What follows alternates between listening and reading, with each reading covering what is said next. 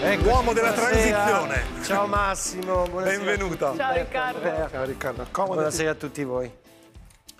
Allora, veramente è il caso di dire che pendiamo dalle tue labbra, perché io- nessuno di noi sa, tutti lo diciamo, la transizione ecologica.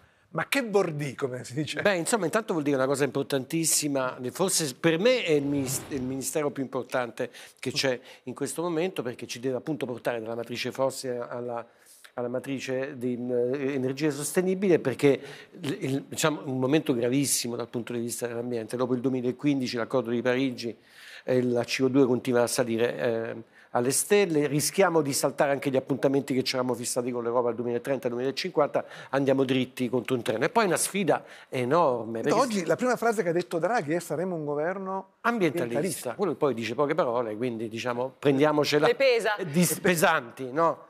È difficilissima come sfida perché si tratta di cambiare il modo di produrre, il modo di consumare, il modo di muoversi e anche perché vai contro le lobby del fossile. no? E lo sanno bene i francesi che oh, eh, sono stati i primi a inventare questo ministero che cioè, ha avuto una- un percorso molto difficile. Però ecco, è la polemica proprio di oggi, di queste ore.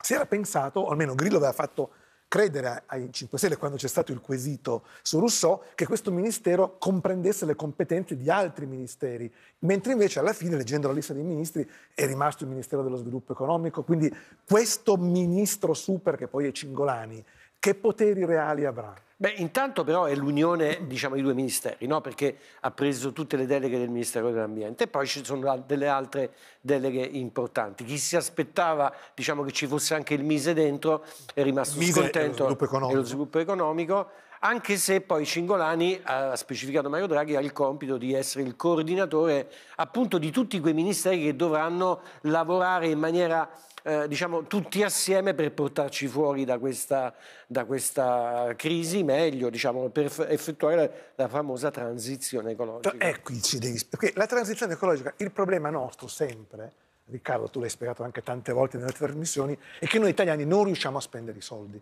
Cioè non riusciamo a spendere i, so- i fondi- i soldi dei fondi europei. E ce la faremo questa volta oppure no? Perché noi ti- ti portiamo degli esempi con delle foto che ti faccio vedere. La prima foto che ti mostro è il Tecnopolo di Bologna.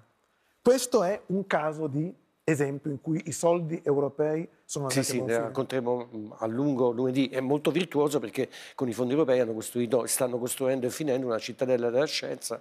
Ci sarà il centro europeo per, per il clima, ci sarà il su- più grande supercalcolatore in Europa Leonardo, ci sarà il 20% di questa memoria che servirà alle università, c'è la rigenerazione di un intero quartiere ed è l'esempio di come sfruttando bene i fondi europei, stiamo parlando di quelli del settennato, poi creare sviluppo e creare altri soldi.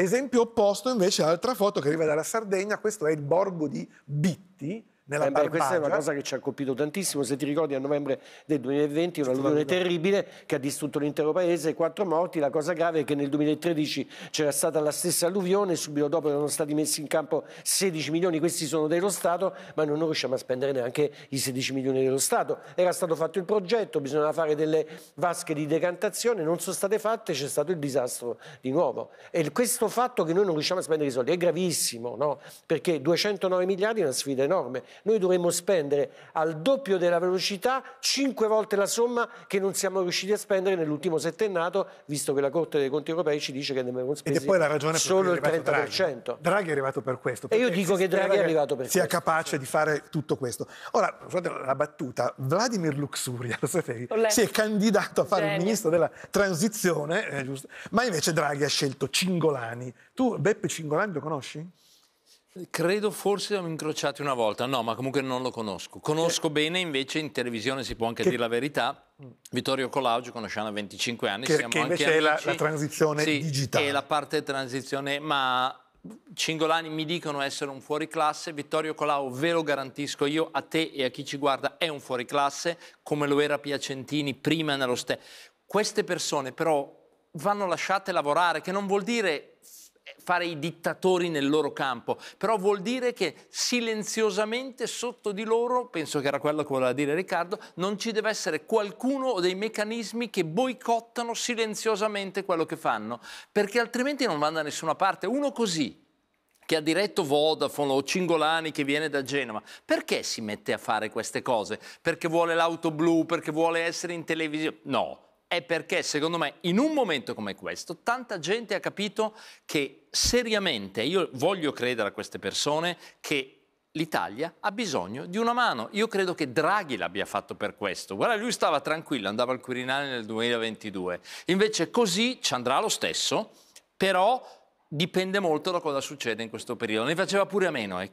E forse anche Cingolani, il quale sarà contento, però se ha bisogno di qualche suggerimento, di vedere la puntata del lunedì prossimo di presa diretta, magari questo pezzo che ti mostriamo adesso. Sono oltre 190.000 i proprietari di casa che hanno già usufruito del bonus per il rinnovamento energetico della propria abitazione. Per l'efficientamento energetico del patrimonio edilizio pubblico è già stato avviato un programma di ristrutturazione di più di 4.000 edifici per quasi 3 miliardi di euro. Tra questi il Museo Nazionale di Storia Naturale, l'Università Pantheon Sorbona e il Louvre. Un miliardo di euro andrà solo a Parigi e alla sua regione, l'Île-de-France. 670 milioni di euro per i trasporti pubblici, per treni, autobus elettrici, piste ciclabili che già oggi riempiono Parigi. E naturalmente era la Francia. Si chiama France Relance, il piano di, di, rilancio, 40 milioni di fondi europei, 60 li mettono i francesi, a giugno l'hanno pensato, a settembre l'hanno annunciato e ci sono un sacco già di cose operative. Uno dei motivi anche per cui c'è Draghi è questo, perché cioè, noi siamo in ritardo su questo piano di resilienza e resistenza e abbiamo 209 miliardi da spendere. Da spendere. Bene e subito.